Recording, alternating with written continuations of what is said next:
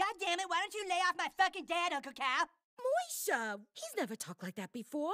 I'm sorry, Mom. It's just Uncle Kyle. He makes me so crazy. That is not okay, Moisha. But it's true, Dad. Uncle Kyle makes me crazy too. Minora! Fuck you, Kyle. Hakim!